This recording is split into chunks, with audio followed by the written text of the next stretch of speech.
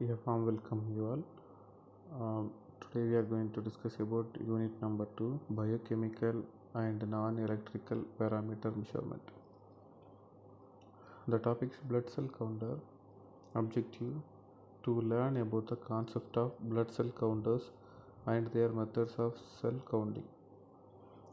Blood cell counters change in the normal functioning of an organism are often accompanied by changes in the blood cell count. The blood constitutes 5 to 10 percentage of the total body weight and is an average adult it amounts to 5 to 6 liters.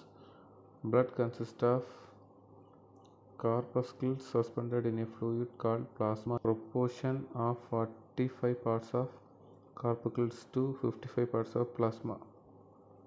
Blood cell type erythrocyte, leukocytes, thrombocytes.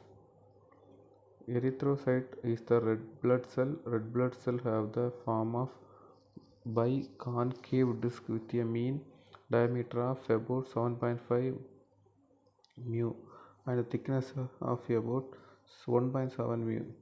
Leukocyte, white blood cell. Leukocytes are spherical cells having a nucleus.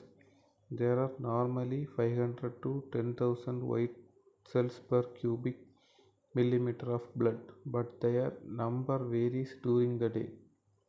Thrombocyte, platelets.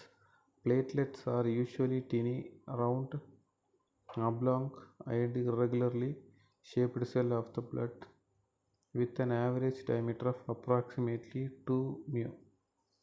Calculation of size of cell, mean cell volume. It is calculated from the PCV and the number of red cell present per liter of blood.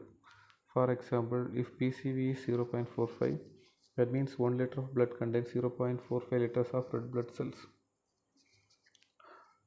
Mean cell hemoglobin. It is calculated from the Hb and red cell count.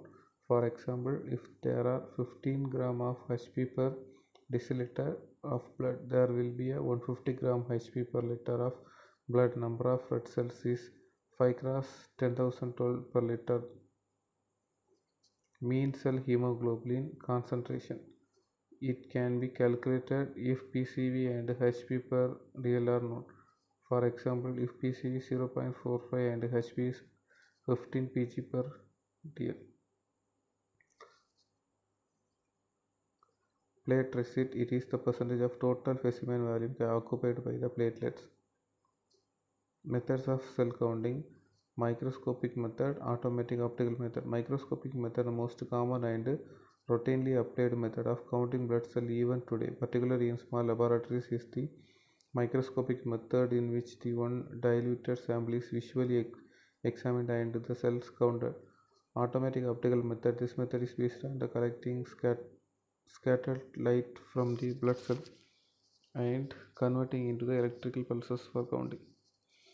Coulter counter.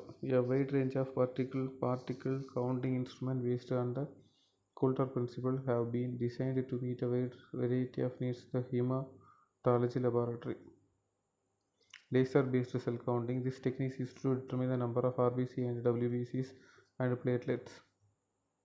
Thank you.